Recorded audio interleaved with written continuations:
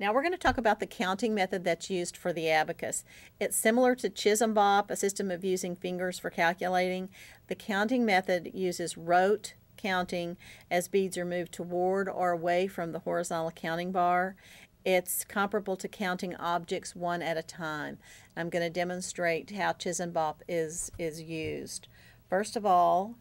you have your hand and for counting you put your first finger down and it's one, two, three, four. Then you exchange those four fingers for your thumb for five, then six, seven, eight, nine. Then you use your other hand for 10,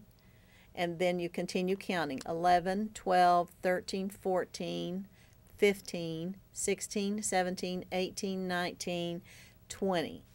That's how Chisanbop works, and that's basically um, the premise that the counting method is built on for the abacus. One advantage of using the counting method is that students don't have to know their math facts to work addition and subtraction problems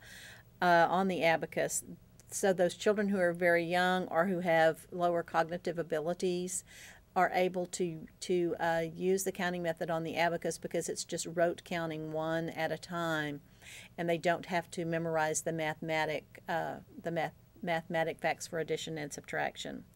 As compared to other methods of calculating on the abacus like synthesis or direct, indirect, or secrets, number partners, the counting method involves only four processes called exchanges and consequently this method is generally best for students with visual and multiple impairments and my students that I taught using this method really um, connected to it much faster than the, the synthesis method I had used with them before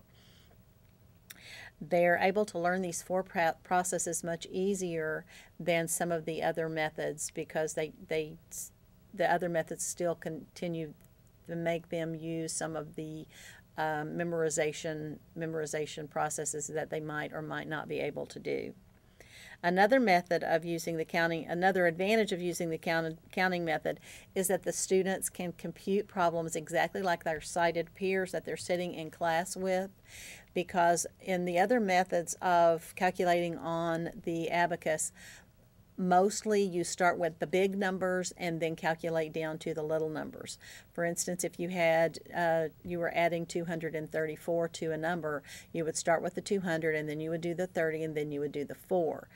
if they're if the student with a visual impairment is in a classroom with sighted peers, all of the peers are learning to add and subtract the smaller numbers, the units, and then the tens and then the hundreds before um, before they go on to the thousands. But they are using the smaller numbers to the bigger numbers, and it's really an advantage for our students with visual impairments to be able to do it that way because their sighted peers are doing it that way and, and they're not doing it basically backwards from their sighted peers. That is, um, in my opinion, probably the biggest advantage of using the counting method.